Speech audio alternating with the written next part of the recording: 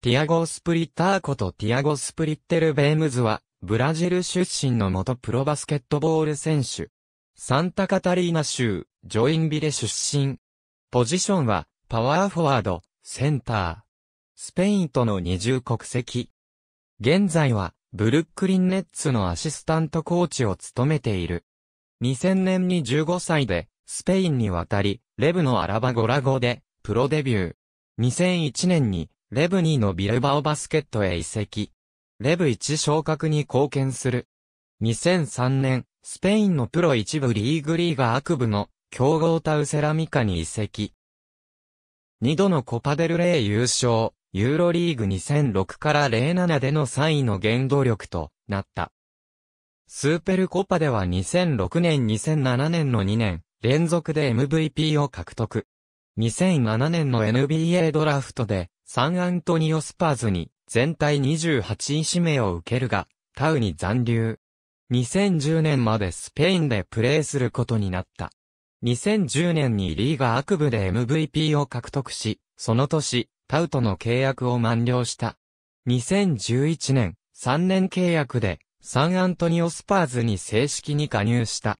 2013から14シーズンのサンアントニオスパーズの7年ぶりの NBA 優勝に貢献。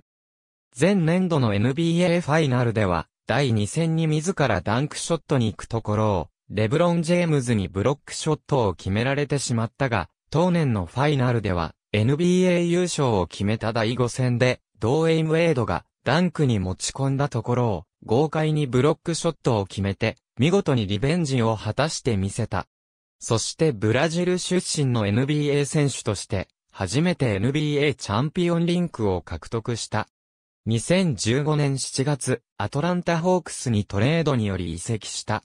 2016から17シーズン、負傷続きで、ホークスでは、不出場に終わり、2017年2月22日、フィラデルフィアセブンティーシクサーズに、エルサン・イルヤソバと、交換で放出された。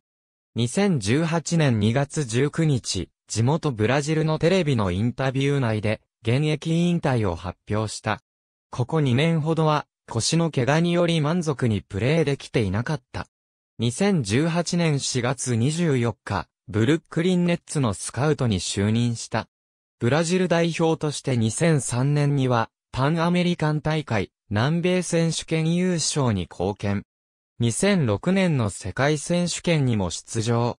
ただし、2016年の地元開催のリオデジャネイロオリンピックは、負傷のために欠場を強いられた。ありがとうございます。